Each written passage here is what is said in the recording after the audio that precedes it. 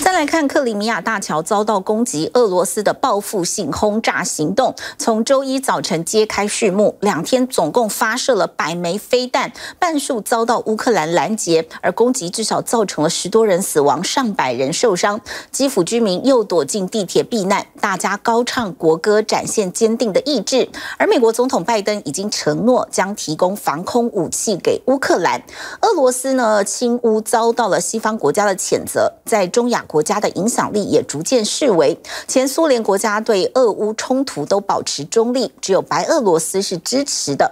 那么中亚国家如今转向西方合作，俄罗斯失去了老大哥的地位。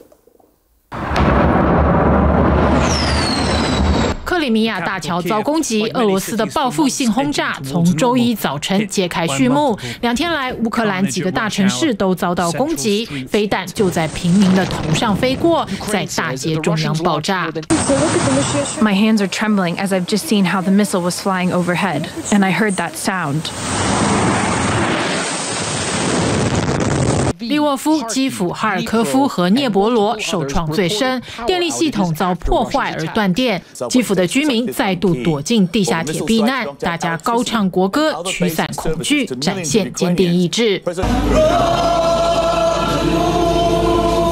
两天百枚飞弹轰炸，至少造成十多人死亡，上百人受伤。总统泽伦斯基站在遭摧毁的儿童游戏公园前回呛，会让俄国在战场上付出代价。Нагнати більше страху і зачепити більше людей. Вони зачепили. Вони зачепили увесь світ. 乌克兰军也对轰炸进行反制行动，从地面发射火箭炮击落俄军的飞弹。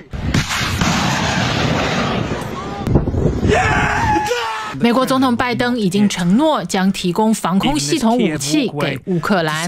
联合国大会也表态支持，在周一否决了俄罗斯秘密投票的要求，将以记名投票的方式表决是否谴责俄国并吞在乌国的四个占领区。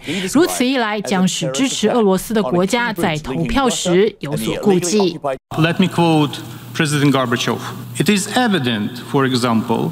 That force and the threat of force can no longer be and should not be instruments of foreign policy, said the, the then Soviet president. In this very hall in December 1988. These words, however, mean nothing for modern Russia. 俄罗斯侵略行动不止遭西方国际组织唾弃，在中亚地区也受到冷落，影响力逐渐式微。Unless something changes dramatically and Russia rebounds, we will see Russia's role certainly diminishing in Central Asia for sure.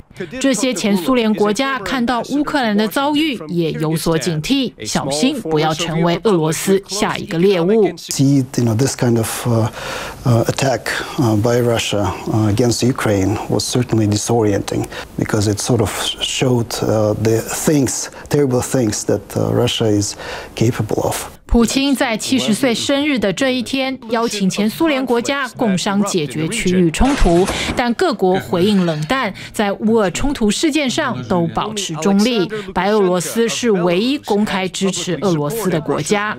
哈萨克在一月爆发大规模反政府示威，普京当时派出军队帮助维持秩序。几个星期后，俄罗斯入侵乌克兰，哈萨克却没有投桃报李，甚至还同意配合西方。方的制裁，绕过俄罗斯为欧洲输送石油。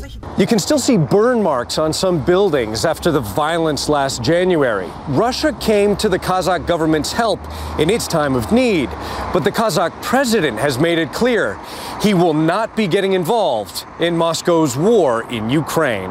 俄罗斯的后院国家亚美尼亚近期与亚塞拜然发生冲突，俄罗斯拒绝派兵协助，亚美尼亚因而转向欧洲。 在欧盟的调停下达成和平协定，俄罗斯失去了苏联时期的老大哥地位，前苏联国陷入权力真空，这也为西方的势力打开了一扇窗。